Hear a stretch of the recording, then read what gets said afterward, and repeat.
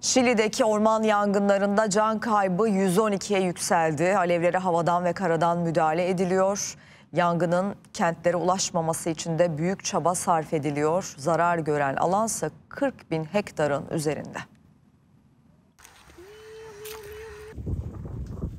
Alevlere teslim olan evler, hayalet kasabaya dönen yerleşim yerleri.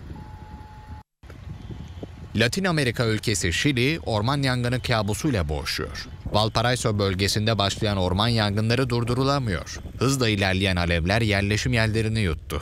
Burası Vina del Mar şehri. Yangın ev ve iş yerlerini kullanılamaz hale getirdi. Canını kurtaranlar hala yaşadıklarına inanamıyor.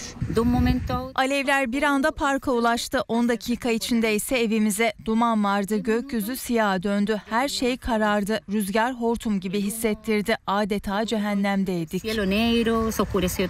İtfaiye erleri yangına havadan ve karadan müdahale ediyor. Alevlerin kentlere ulaşmaması için büyük mücadele veriliyor. Şimdiye kadar 40 bin hektarın üzerinde alan zarar gördü. Yangın ulaşımı da tehdit ediyor. Otoyol kenarlarına kadar inen alevler sürücüler için tehdit oluşturuyor. Şili hükümetine göre bu, 2010 yılında yaklaşık 500 kişinin hayatını kaybettiği depremin ardından ülkede yaşanan en büyük felaket.